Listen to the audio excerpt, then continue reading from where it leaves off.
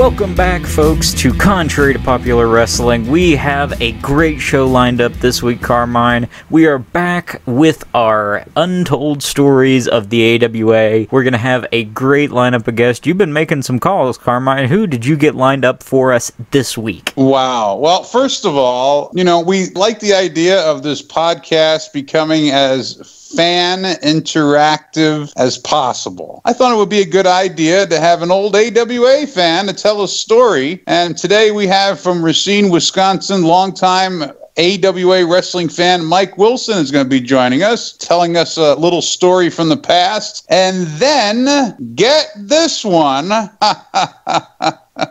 We're talking about the untold stories of the AWA, well, you can't leave out the unsung heroes of the AWA. And in my opinion, the greatest unsung hero of the AWA, the very capable sodbuster Kenny Jay. Kenny Jay, of course, known for being around the AWA through the 60s, the 70s, the 80s. You know, Harley Race called Kenny Jay the best overall talent in wrestling. That says a lot coming from handsome Harley Race himself. Well, the boys just loved Kenny. I mean, I, I knew Crusher and Mad Dog and Baron, and everybody loved Kenny. They respected him in the ring.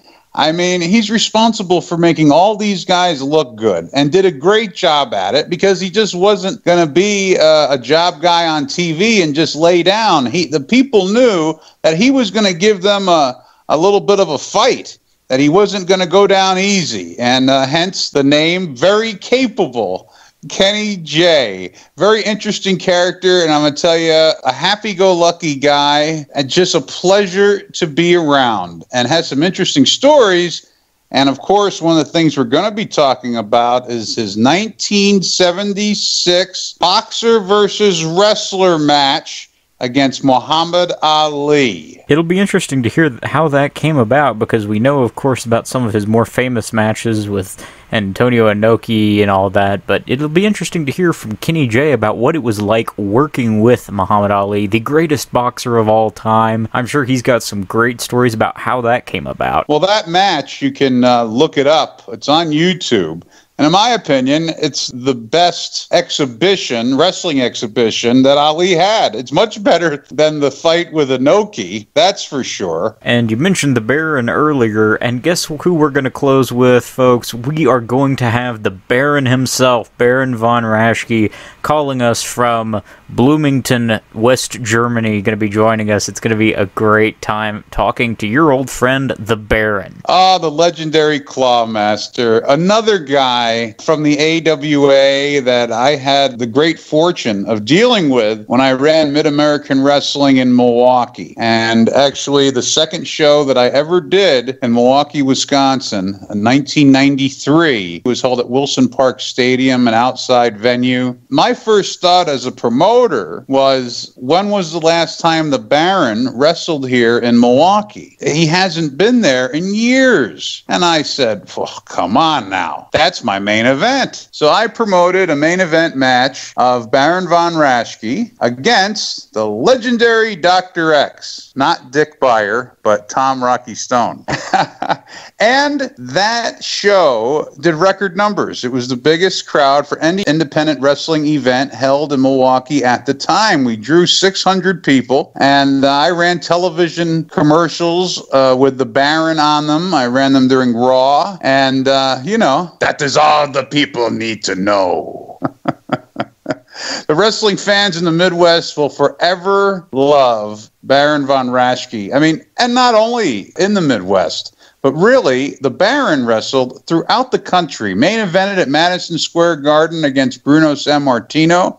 He had a huge run in the Mid Atlantic area in Georgia, in Florida, and of course the AWA Midwest territory, where he's just legendary. I mean, with the Crusher and, and uh, Mad Dog Vachon, the great matches that he had with so much of the top talent, the Baron is regarded in the business, as Bobby Heenan says, the nicest guy in the business. So for me, this is truly an honorable moment uh, just to have him on it means so much to me to have the great Baron von Raschke on and I hope our listeners are going to get a kick out of it as well. I think they will because there's no way we could do an Untold Stories of the AWA without talking to the Baron himself. But before we kick things off this week, we want to remind folks again if you're listening to us on YouTube, give us a thumbs up on this video, subscribe to our channel, it helps us out a bunch. And if you want to check us out elsewhere, you can listen to a audio version of this. If you're listening on podcast platform and don't know, on YouTube we put videos together with each week's episode. We've got photos, a little slideshow. It's really it's something you need to check out. But you can also listen to us on various podcast platforms: Apple Podcasts, Google Podcasts, Spotify, Stitcher, you name it. We're probably on it. Be sure and subscribe to us there. Leave us a five star review. It helps us out. You can also find us on Facebook at facebook.com forward slash contrary pod. You can send an email to the show with questions, comments, concerns, guest recommendations, and more. Email us at contrarypod, C O N T R A R Y P O D, at gmail.com. And Carmine, with that being said, let's throw things over to a fan of the podcast and a fan of the AWA, Mike Wilson. Now, one thing that I thought would be very interesting would be to get a fan story, a fan's perspective. And I've got the perfect gentleman on the phone right now. He's from Milwaukee, Wisconsin. He was a longtime fan of my promotion, Mid American Wrestling. Also, a longtime fan of the AWA. He saw a lot of cards in Milwaukee and the surrounding communities. Mike Wilson, welcome to Contrary to Popular Wrestling. Well, thank you, Carmine, for having me on. Uh, the story that I'm going to be telling tonight is the most interesting story of the shows that I saw in the AWA. It reminds me of some of the things that I saw um, later on involving CM Punk in your uh, promotion, Mid American Wrestling, back in the day. Yeah, he was quite the handful. Let me tell you what. Where and well, when I mean, did this card take place that you're talking about? This card took place in August of 1987 in my hometown, Racine, Wisconsin, um, at Horlick Field, which is about three blocks away from Horlick High School. That it's where they all three of the high schools used to play football on Friday nights. Now each school has their own field. But by 87 we were we were pretty much a spot town. We I think we had two shows that year, one in February, one in August. And this show took place in August, and the main event was Greg Gagne and Wahoo McDaniel versus Soldat Ustinov and Boris Zukov with Gary DeRusha as the referee. It was your typical um, old school 80s tag team match Wahoo was doing the work that night, you know, bleeding from the head like Wahoo did for a good part of his career. Greg was stuck on the outside. The Russians were double teaming Wahoo, which would bring Greg into the ring. DeRusha would have to back him out. Then you would have Zukov or Ustinov go over and taunt Greg, which would draw Greg in. DeRusha would have to back him out, and the Russians could double team Wahoo again. Right. Well, toward the end of the match, Soldat Ustinov is choking Wahoo on the outside. He's on the floor. Wahoo's hung over the top rope, neck on the top rope, rope, bleeding from the head, showing no signs of life at all. You would have thought Wahoo had died right there. Zukov goes to pull Greg in. DeRusha and Zukov have their back to Wahoo and Ustinov. Greg is facing this, but can't really see past Zukov. Now I'm sitting second row. Out of the corner of my eye, I see a yellow streak running toward ringside. And I didn't even have time to look to the side when all of a sudden this drunk guy in a yellow rain slicker is absolutely windmilling Ustinov in the back. I mean, if this dude was either uh, Butch Miller or Luke Williams, he'd have been bushwhacking him. But he's windmilling him right in the back. And he was tagging him too because Ustinov is selling it and and selling it like Vernon Gagne had said, you're either going to sell for Greg or you're going to sell for me. So Ustinov runs a couple feet away. This is where the drunk fan made his mistake because he went after Ustinov again. Never got there. Wahoo being an old school guy, and we all know the stories of Wahoo back in the day the thing with the gun. He shot Dick Slater in the leg. Right. As the fan is going past Wahoo, Wahoo flicked his wrist. Now, Carmine, I know you're Italian, and but I don't know if you're Catholic. But let me tell you, my mom was, and the Pope gets more wrist action on a blessing than Wahoo got. And he must have clipped this guy in the temple because the guy's arms went out and he fell backwards. And if security hadn't been there, the guy would have taken the perfect flat back bump right there on Horlick Field. Wow, that's something else. Wow, and they, just, and they just knocked him out. Was the guy knocked out for a while? Don't know. Security carried him out.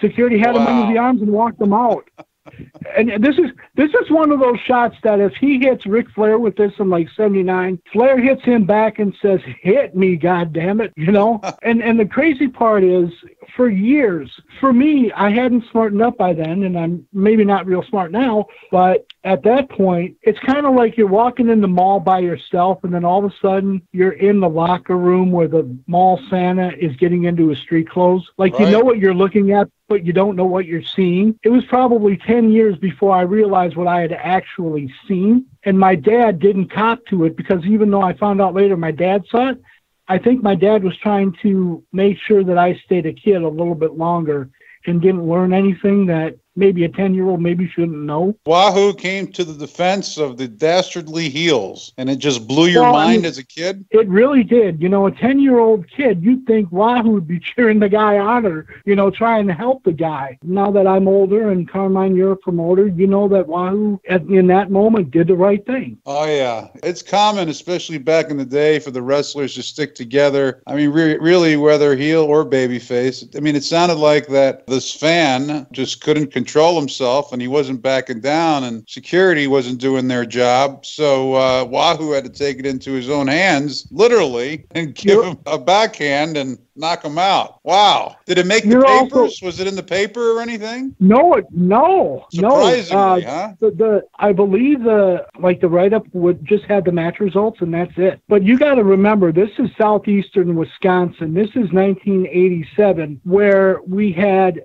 Pabst still in the area. Miller was still there.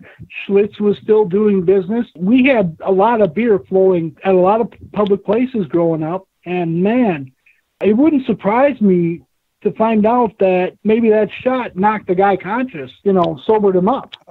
maybe it sobered him up. Hey, maybe so. Maybe so. What a great story, man. Thanks for sharing that. Yeah, hey, uh, you know, I, I love the show, and if you ever if you ever get a story, if you ever start doing a show on uh, the best of Mid American or some of some of the uh, fan interaction CM Punk had with some of the local fans up here, you know, I've got about six of those stories.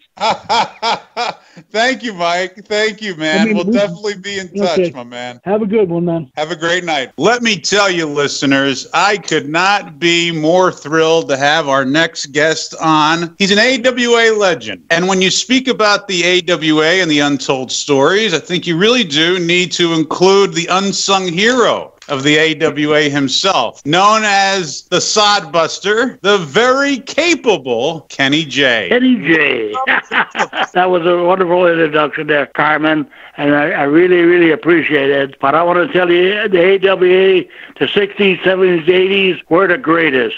I mean, they had some great, great wrestlers in this town. I'll never forget the 60s, 70s, 80s, you know.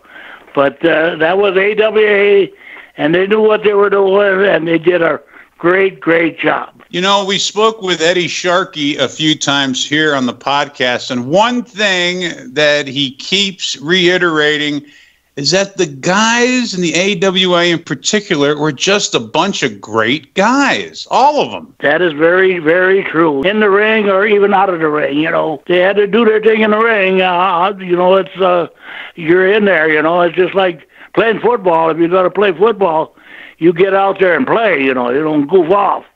So it's almost the same as any other sport. If you're going to do it, do it well and perform well, because that's what people really wanted to see. You know, and mm-hmm. we could do it. I could do it. I mean, with all the great talented with Bockwinkel and those uh, Crusher, you know, they, they they could do it, and uh, it was just automatically for them to perform and and give the people what they really wanted to see. You know, you guys got everybody got along really well. I mean, uh, it, it says something about the guys. I think from Minnesota and Wisconsin and so on. I think it's the general mentality of the guys. I mean, they're all we're talking about all of Eddie Sharkey's trainees. I mean, you know, Right. on the longest list. God, every Yeah. single one of those guys were good guys. well, know, they were good guys, and and and there were some uh, uh, bad guys now and then. You know, but Yeah, like I say, then, if, if you're in the ring. Whoever you're in there with, that's why they call me capable. Because I, I was in the uh, in the dressing room one time uh, with uh, guys from Chicago, and Uh-huh. they got uh, Mad Dog, and they said, "No, Yeah. we don't want them. We we don't want to wrestle them, You know, and Verne said, "If you're coming here, you wrestle who I want to. Otherwise, don't come here and don't become a wrestler." You know, so I took out everybody that came in new. Bill Miller, you know, Dr. X, uh, anybody that came into town, I got them. And I, I never turned them down. I was always in there with all my blood and guts. I gave them a fight, you know. They they even uh, said it, you know. They, God damn it, at least, uh, you know, he's uh, showing wrestling, you know. So that's why they call me capable, you know, and it stuck with me, you know. But uh, like I say, I wasn't uh, scared of anybody, you know. You like working a little snug, right, Kenny? Right, you You bet. like you like laying laying the shit in and making it look good. And. I can Yeah. I can tell you I can tell you I I, I mean you Yeah, have well- utmost respect from the Right. crush who I talk to often about Yeah. you. He just he Right. just loves you. And Baron, I you know uh, he thinks the Mhm. world of you. Uh, we're Yeah. gonna have him on later in the podcast actually. okay. And uh, and of course Harley Race. Uh, Harley yeah. wants Oh, he always gave me the thumbs up. the best talent in the business. Period. right. From Period. Right. Period. You created a lot of great careers in that sense. yeah. And all these guys that came in were college, you know, they were uh, amateur wrestlers, you know, Right. uh, Dr. X, uh, you know, all these guys. And here I'm a little farm boy from Holdingford, Minnesota, that had never even heard of professional wrestling till I went to Milwaukee in 1956, you know. But Right. uh, you know, that's so. Whoever I got, I knew I couldn't beat him because, you know, like even Billy Goelz, or not, uh, he not Billy Goelz, but Billy Robinson. You know, oh, Billy Robinson. I knew I'd never beat him because he was. But I had one of the best matches on TV with him, and people talked about that for years. You know, and it just it just uh, felt good for me to see something like that or do something Oh yeah, like you mean you're you're you're wrestling one of the greatest guys in the world. Period. Uh, Billy Robinson. Right, right. I mean, uh, and you held and you held your own because the people respected you. They knew Right, that, yeah. and they knew that you would give everybody a fight. And Even Verne you- know, if they won the match, they left the ring with their their hand raised over Yep. beating somebody who had credibility, who actually, you know, the very capable Kenny Jay. Right, yes, that's right. Started right in Milwaukee at the uh, Southside Armory. Yep, that's where I started. Southside Armory, was the first pro 1957. camp? You- Was it a while before they smartened you up? What was that like? Yeah, well, my first match, you know, I got uh, five bucks, but this was in '57, and I Right. wanted to show the promoter what I got, you know, because I trained only for like three months at a school. That wasn't that great, you know, but uh, I got to know the, the Where teacher real well. He's my age, so we kind of worked things out, you know. Uh, and we went to uh, Minnesota to a carnival. We joined carnival where we took on all comers. You know, Did anybody come up there if it was a big farmer, three hundred pounds or whatever, and he said he wants me. You know, I had a wrestle. That lasted only was- two weeks. So, so carnival circuit, Kenny, in the Midwest. Right, yeah, where they move from town to town, you know. And uh, we were doing good, but uh, I was getting my hair pulled and everything. Uh, we lasted two weeks. I said, "Hell with this! I'm going back to Milwaukee." so that's when I went back, and then I started again. I went to uh, Southside Armory, and then Billy Goelz and Johnny Gilbert. I don't know if you know them from Chicago. They'd always come there and wrestle, and they said, "Kenny, why don't you come every Saturday to Chicago? We have like 12, 15 matches, you know. So that's what I happened. I started going there, and then a promoter seen me there. Then he started using me all over uh, Illinois, Wisconsin, you know, all over in those little states right around Chicago, Illinois, you know. So that's where I really, really got started. And then, you know, I was up in, in 1960 up for the belt, for a junior light heavyweight belt with Billy Gell and Johnny Gilbert against me and the Sheik. And the, this was the first Sheik back in, in the Oh, 60s, yeah. early, Yeah. early 60s.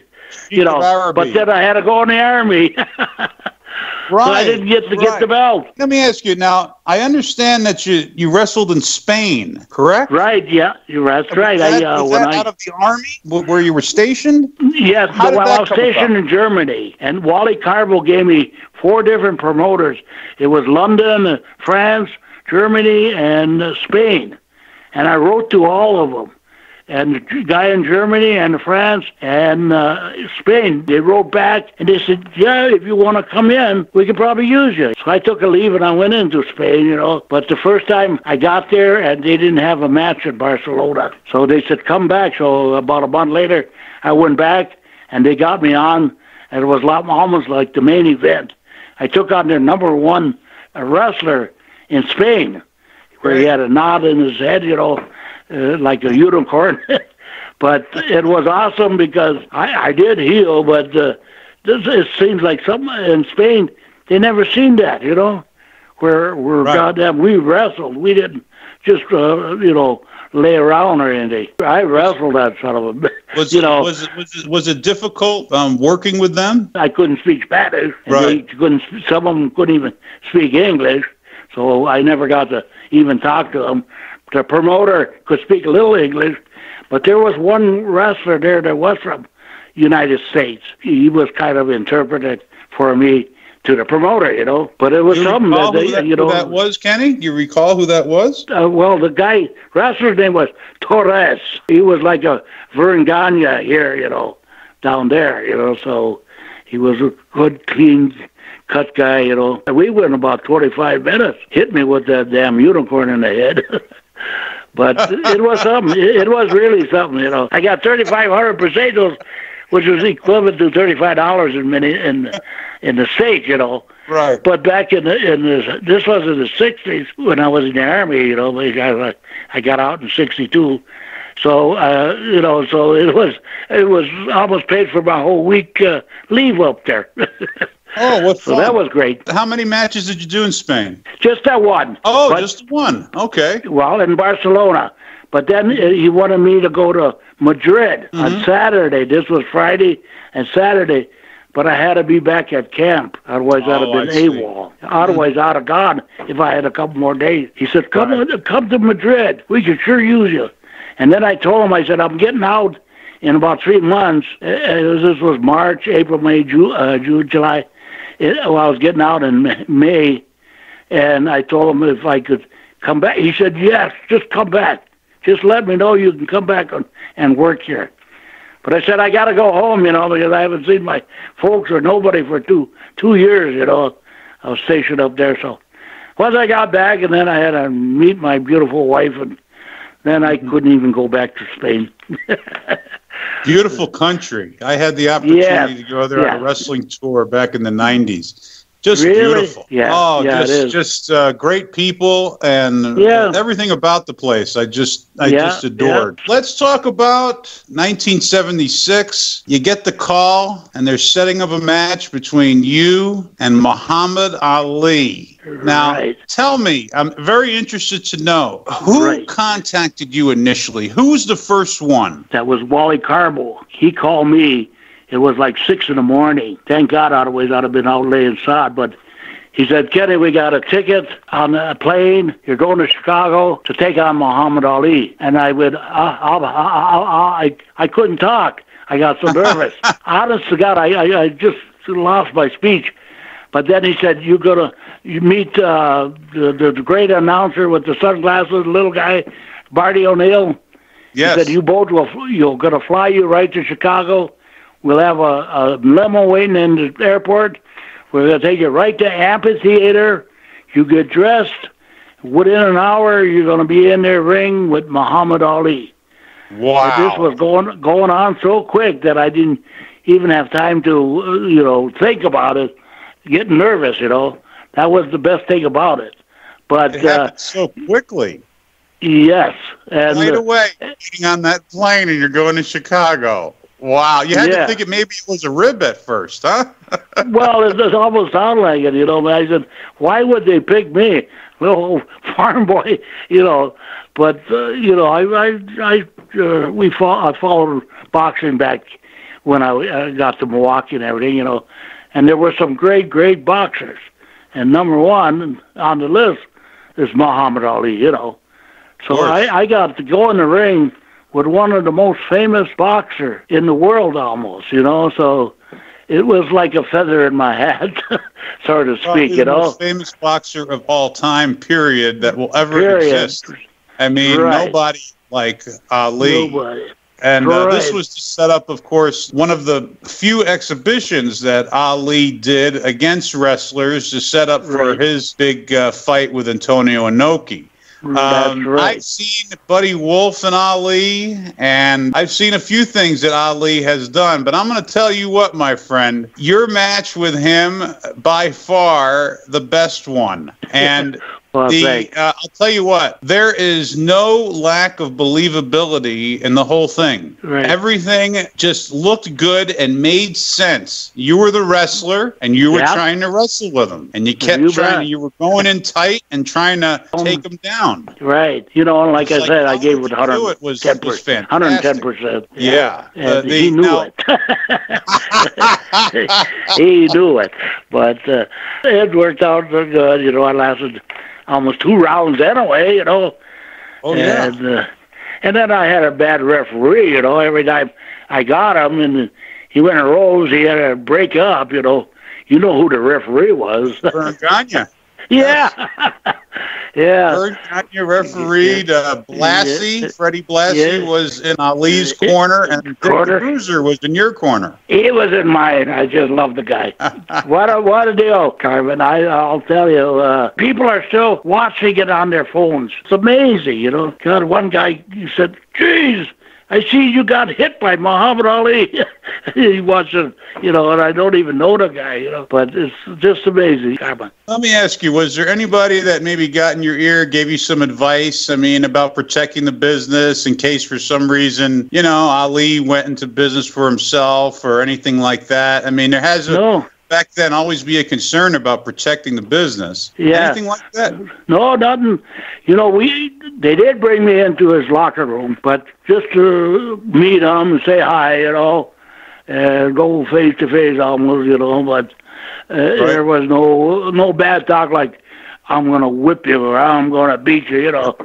None of that stuff. I just said, uh, let's go for it, you know. So then right Right. after that, they took me to the ring and brought him to the ring, and it was a nerve. I was nervous all day, but I still gave it 110 percent. And uh, Oh yeah. like you say, that people are still talking about that. They don't Oh, even mention, you know. Buddy Wolfe and him, but they, oh, we watched you. We picked it up and on the on our phones, and what a deal, you know. I didn't lay around. I It looked like you got caught with like a little rabbit punch. He got you with. Yeah, yeah. Then he body slammed me even. I said, for crazy, where did he learn that? He's a boxer. but uh, I guess. Fred Blassie showed him a few wrestling holds. Yeah. Yeah, Yeah. you know, before. understand he also trained with the Sheik too. I heard that. They've yeah, yeah. both up in Michigan at Ali Yeah, probably. with uh, Farhat. Yeah, he caught you. Uh, I just watched it the other day, and he caught you with the same that same rabbit punch that got Sonny Liston. It Oh, looked yeah. very Yeah. Yeah, I, I figured I, I was just about out, you know, but I, I figured this this is enough. I don't need another punch like that. I don't think I could have got out, but uh, I, I I was uh, got to the count of ten and I was out, but uh, they had help me in the dressing room and and pump some air in me, and then I come, I come to. right, But- exactly. Have a but- brandy and water, you feel like a million bucks. You bet. I'll tell you, on the airplane, we all got drunk. Me and me and Marty O'Neill. Oh, he loved his drink too. but we had a good time. Coming back, you know, I think uh, even Bockwinkel was on. I don't know why he was on the plane. And Buddy Wolfe. So we had a few drinks. what a great time that had to be. Oh, you Yeah. had to be on top Oh. of the world. You had to be on I top know of it. the world. I Did know you, it, uh, know, Did you run into Ali after at all? I mean, through the years, No. did you ever run into him? Never, never did. huh? did after after that. No. Oh wow! was, uh, you know, he got busy with Buddy Wolfe was the second match, right. and I think by by the time that match was over, we were in the limo already going back to the airport. oh, I see. That's how fast things happened that day. Uh, you know, it was bang, bang, bang. You know, I Right. I didn't even have time to get get nervous until I was walking into the ring, and then I seen him standing in the ring. You know, oh, how cool! you'd get a little nervous. Great memories for you, man. What great memories. Yeah. Um, oh yeah. I got them.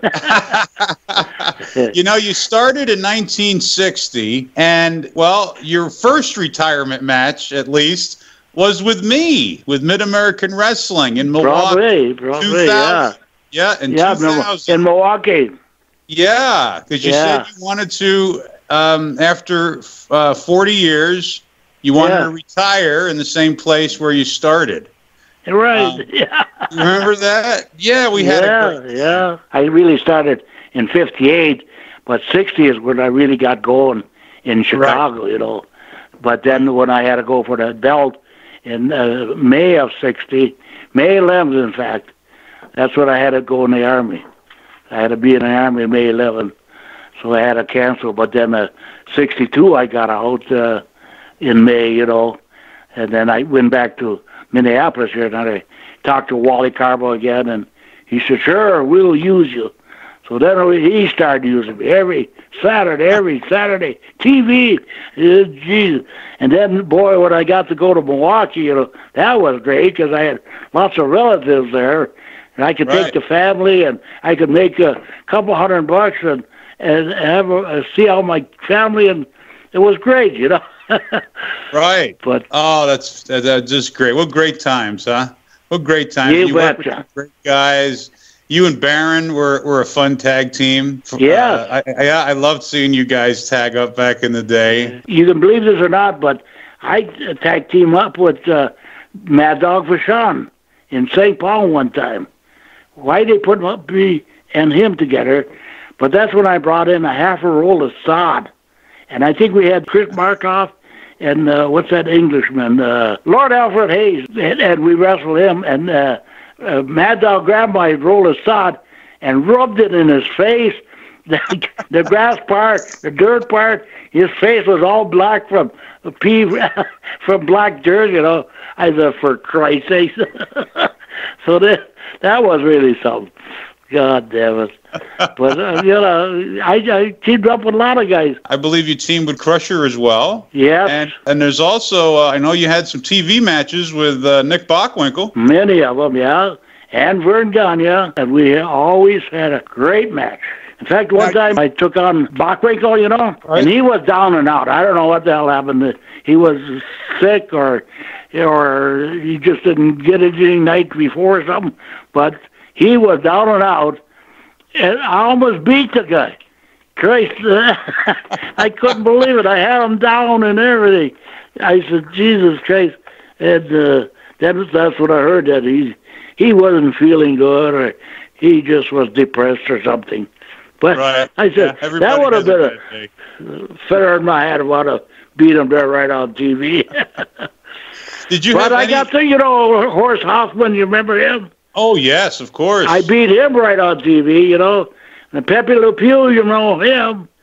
Yeah, uh, you know, I beat him. I beat the Weasel.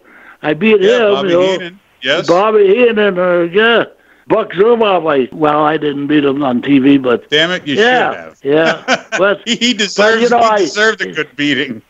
yeah, yeah, you shit. Uh, but yeah, but uh, yeah, but you know, I I have some oh some great great uh, moves. not me, but I mean with these guys, you know, and the way I've been. Remember uh, Jesse the Body and Adrian Adonis? Of course. I beat him right on TV. Tag team. Uh, I beat Adrian Adonis. Is that I, right? I rolled. I rolled him up one, two, three. Wow. Then the shit hit the fan. They- Everybody had to watch out for that knee lift. Knee You lift betcha. catches you. It's all over. It's You bet all they- over. They always said that. Hey, did you But- ever consider leaving the AWA, leaving the area, or you just were comfortable living in Minnesota? Because that's really Actually, the only territory you yeah. worked for, right? Well, me and my brother were in landscaping business, laying Right. sod and everything.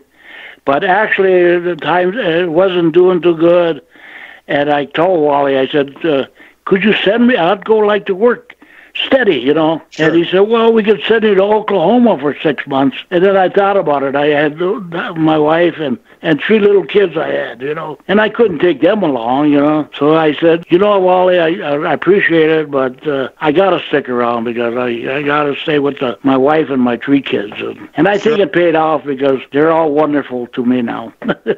Well, you were with the uh, with Verne for almost what thirty years? You bet, right up there. Pretty damn close, right? yeah. Oh God, no. Well, let me tell you what, Kenny, you are truly one of my favorites in all of the business. You know, Well, thank you very much, and I want to tell you, thank you for using me in Milwaukee now and then. I Oh. really, really appreciate that. Well, are you kidding me? I mean, uh, you know, I'd be amiss Yeah. if I didn't. And you always boosted the houses for me. Yeah, and, yeah, uh, I try. and I people try. loved seeing you. And uh, let me ask you, how many retirement matches did you have? Because you came back out of retirement in 2000, I know. Yeah. Oh, yeah.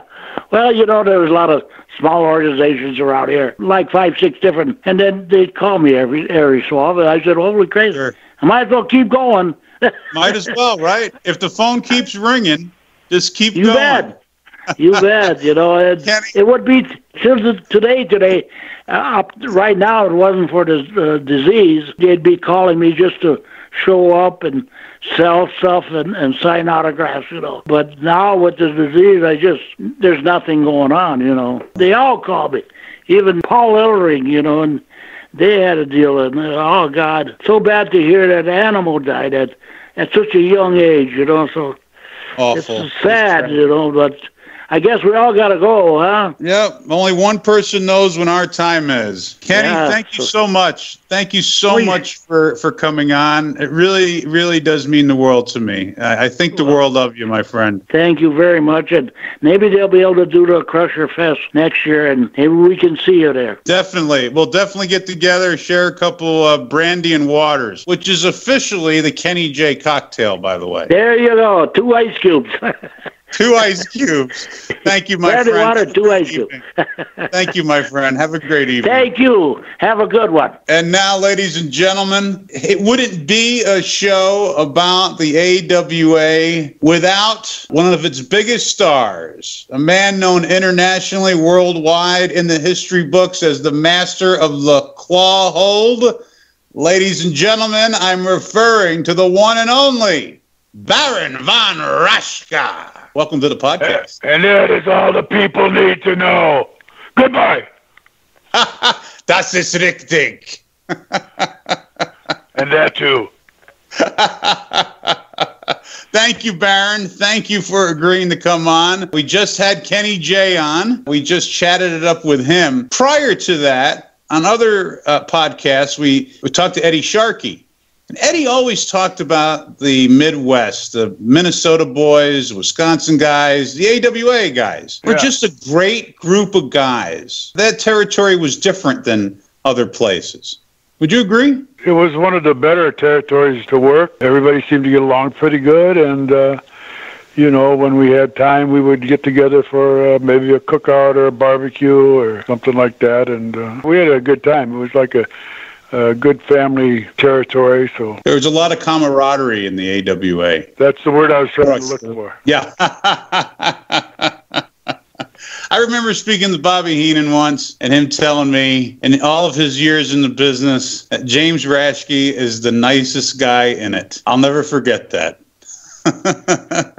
And it's Well, been a pleasure knowing you all of these years. And I definitely concur with that. I have met a lot of people in the business, Baron. You know, a lot needs to be said for how you treat people and, and what a good person you are. Well, thank you, and thank Bobby. Bobby's always been a, one of our favorites. He's uh, he was quite a, quite a character, and uh, we always enjoyed Bobby. Uh, you know, coming over to the house, or we were going over to his house when he lived with his, his mother when, a long time ago, and then with his wife Cindy. So, uh, yeah, he was a great guy. Call everybody on uh, Christmas Eve, even if you haven't heard from him all year. right? Yep, He'd call every Yep. yeah. Yep. Crusher told me that that he would uh, Bobby Heenan would call everybody on Christmas Eve, get a little shined up, and uh, go through the phone book.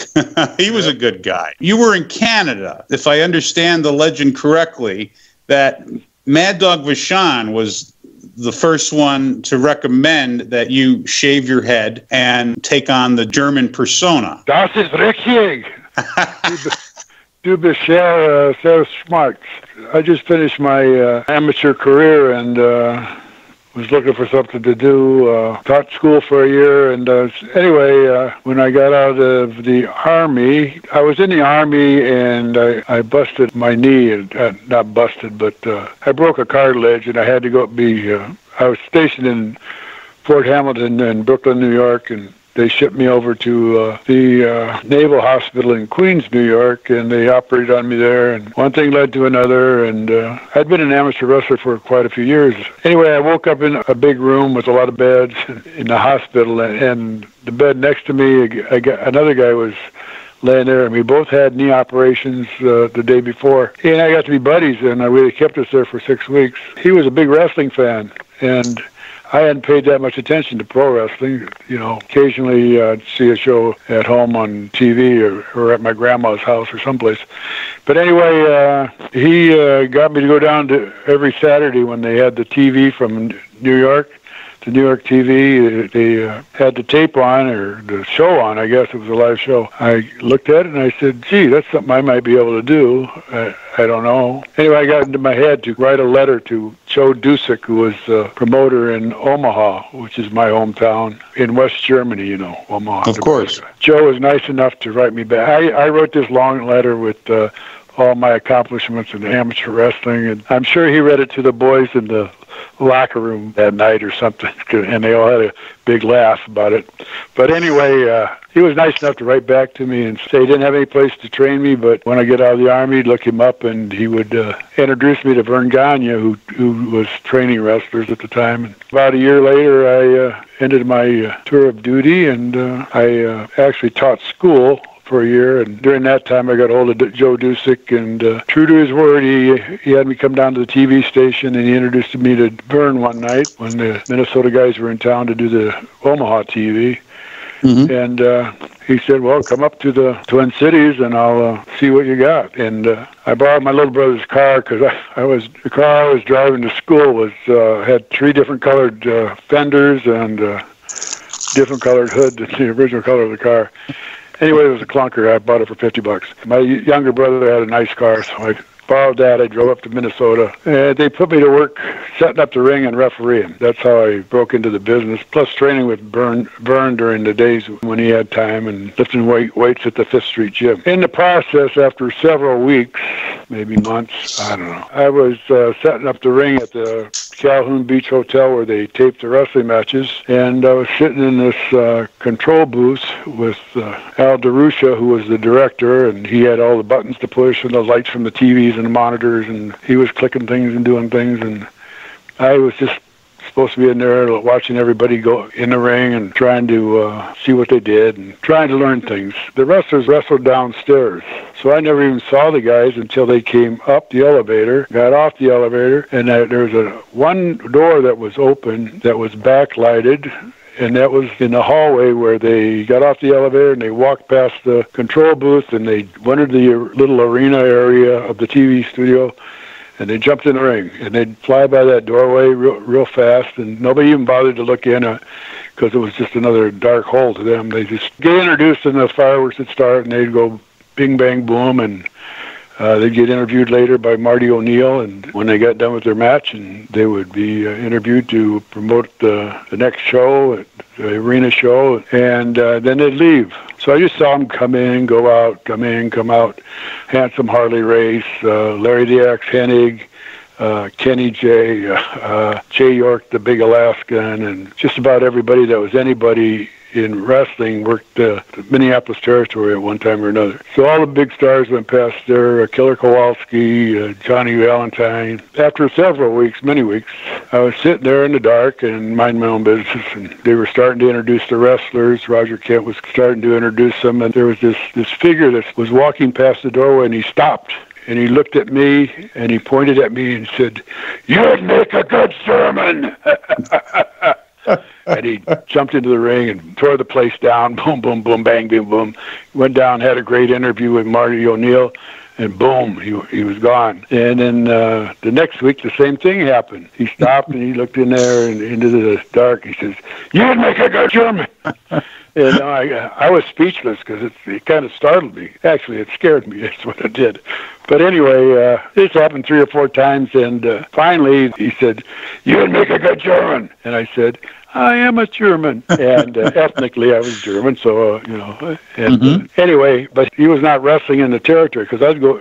I was going to town, around the town, setting up the ring, and usually refereeing. So, but I never, I never saw him in the dressing room. Never saw him at TV, and never saw him in dressing rooms at the different towns we were going around the uh, state of Minnesota and Wisconsin, and uh, up into Winnipeg, Canada, and wherever we took the ring. I I took it. Turned out he was working in California or someplace and just flying in for Saturday TVs. So he'd fly in, do his do his work, and uh, fly right out. But then he started to uh, to work the territory. That was to get him introduced into the territory. And uh, if you know Mad Dog like I know Mad Dog, he got over big. So anyway, finally uh, he started to work the territory. So I was uh, at a show setting up the ring and he was in the locker room and he started talking to me and he had been on an Olympic team for uh, Canada and I had uh, I'd wrestled I made the Olympic team but I got hurt and didn't, get to go to the Olympics but anyway we had something in common in that regard the amateur wrestling background. He liked me and uh, our friendship grew, over the next couple of weeks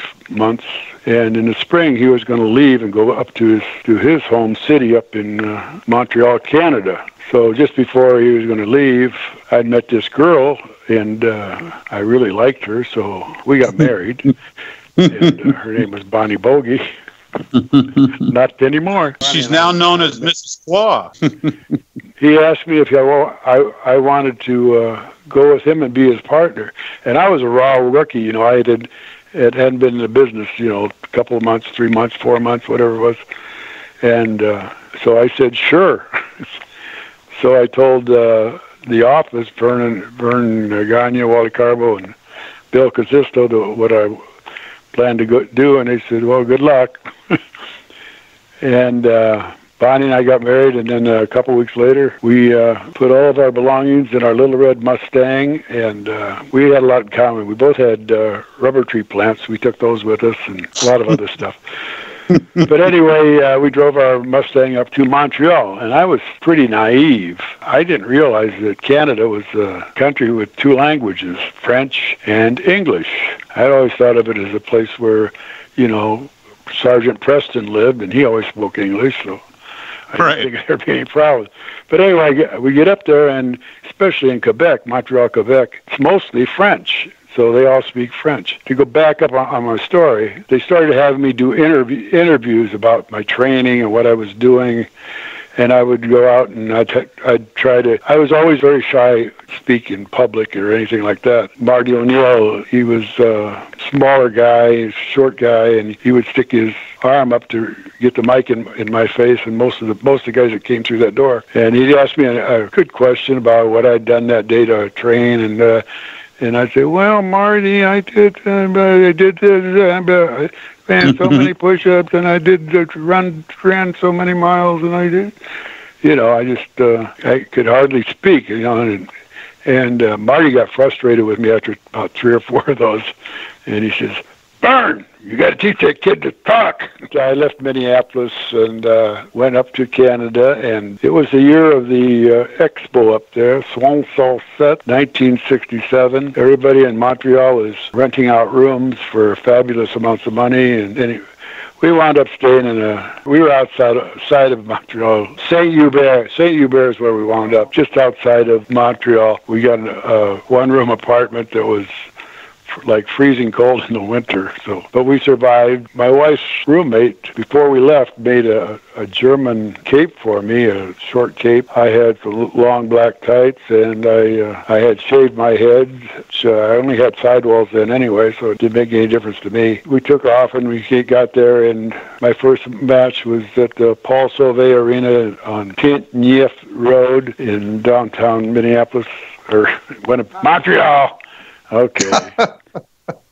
so uh, I get dressed in the places they've got a good crowd there. You know, I'm due up, and I'm I'm wrestling with a guy named Eddie Auger, a real a old pro that was really really a good good professional wrestler. So I go out there and I have my match and just march into the ring because Dog walked with me too. So they were mad at me anyway. They didn't like it. They didn't like Mad Dog. They didn't like me either. And I had kind of a sneer on my face and was acting haughty and whatever. But they didn't like me. And Eddie Auger and I had, had a, a really good entertaining match that the the people really didn't like me for winning. So uh, I came back to the arena and they says, "Now go back out for an interview." Mad Dog and I went out for for an interview, and Mad Dog speaking in French, and the French French announcer speaking in French, of course, asking him questions, and he's he turns to me, and I had taken some ger- German in college. I wasn't fluent in it at all, so I knew a few words, and one of the words was "restort," which means to destroy. Well, I used right. that word about 80 times in about two minutes. I talked in a gruff voice and I was excited and over trying, but somehow that worked because uh, most of the crowd was French.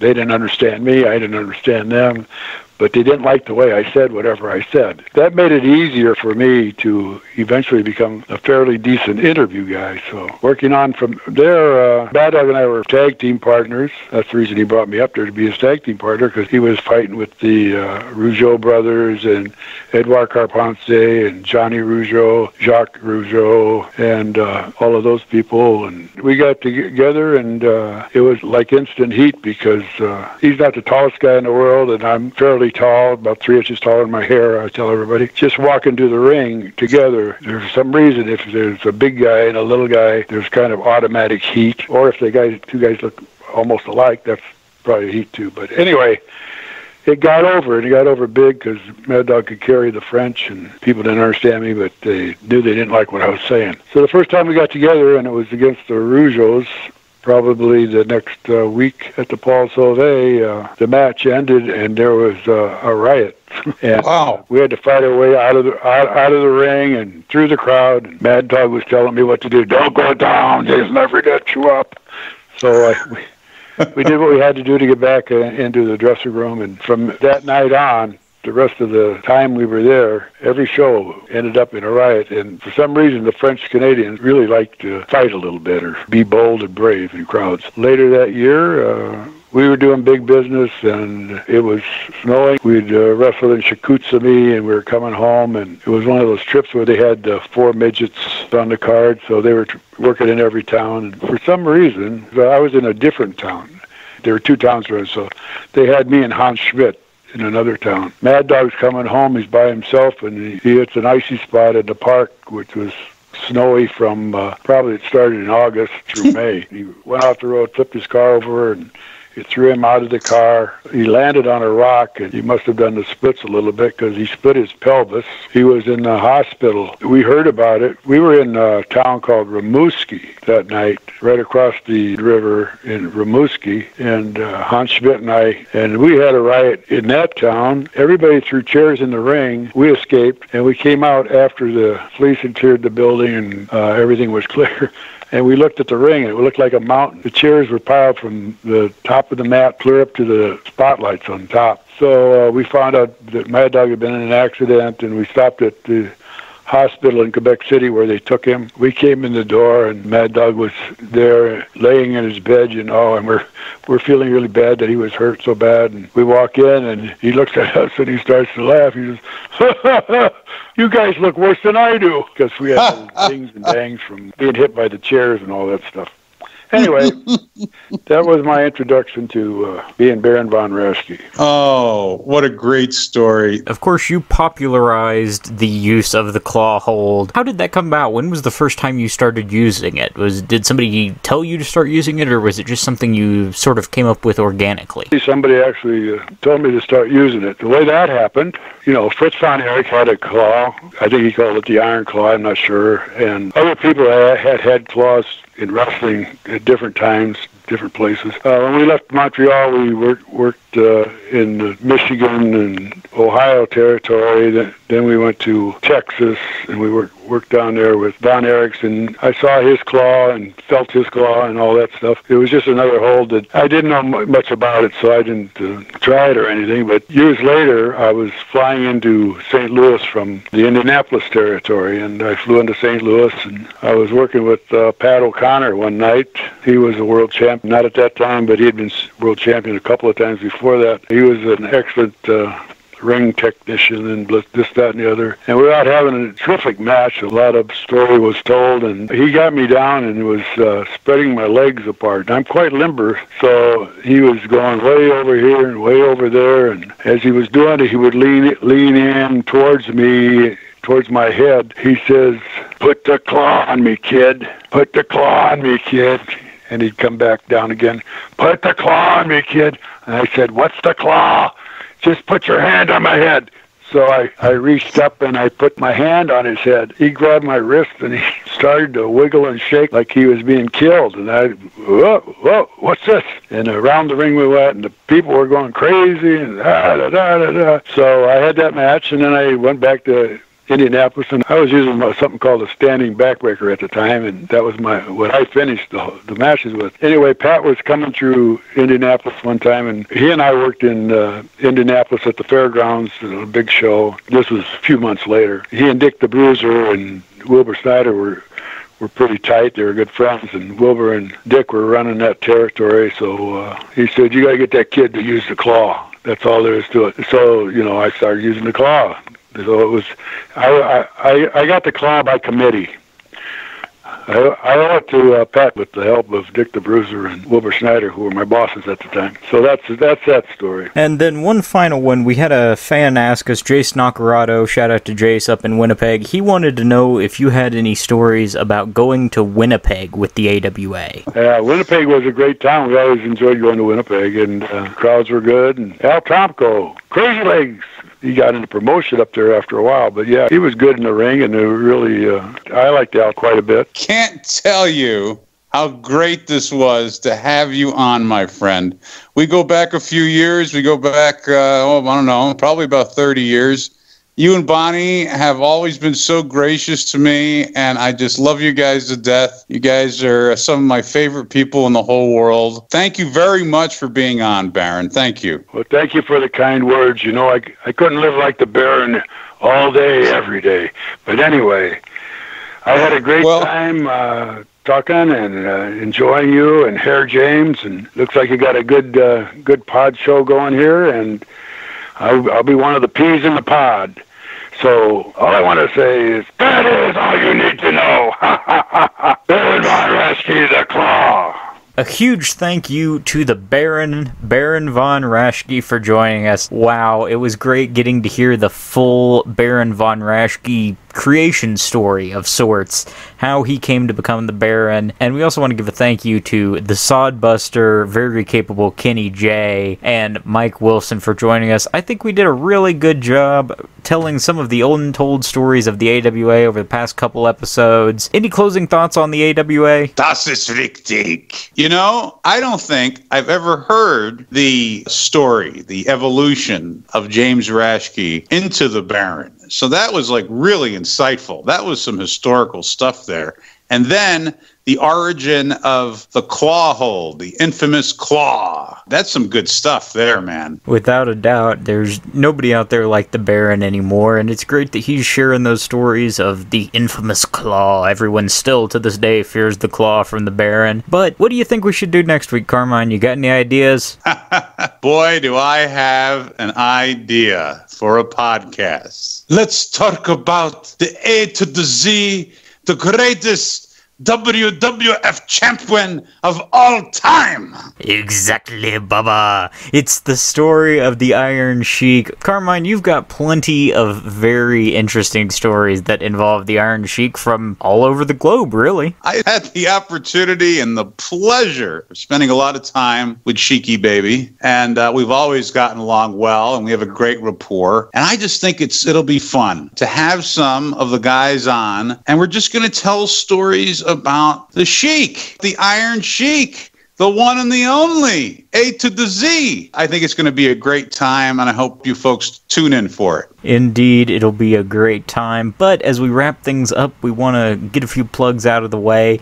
Be sure and like this video and subscribe to us on YouTube, Contrary to Popular Wrestling. You can see all our videos there. We've got clips. You can go and listen to some of your favorite segments and moments from the show. You can also listen to us on all your favorite podcast platforms Spotify, Apple Podcasts, Google Podcasts, Stitcher, you name it you can find us there. You can even listen to us on your Amazon enabled devices. Say, hey Alexa, play Contrary to Popular Wrestling on TuneIn. Be sure and subscribe to us on all those platforms. Give us a five star review, it helps us out a bunch. Follow us on Facebook, facebook.com slash contrarypod. And there you'll find out who we're going to have on to talk the A to the Z. We're going to tell some Sheik stories with some great guests, and that's where you'll find out who those guests are first. You can also send us an email at contrarypod, C O N T R A R Y P O D, at gmail.com. Send us a question, a comment, a concern. We will read it and we'll get back to you, or we might read your question on the air or a correction. We had to do a few of those. So send us an email there. Well, Carmine, until next week, we will see everyone, and next time we speak to them, we will be talking about the, the Sheik from the A to the Z. And just once more,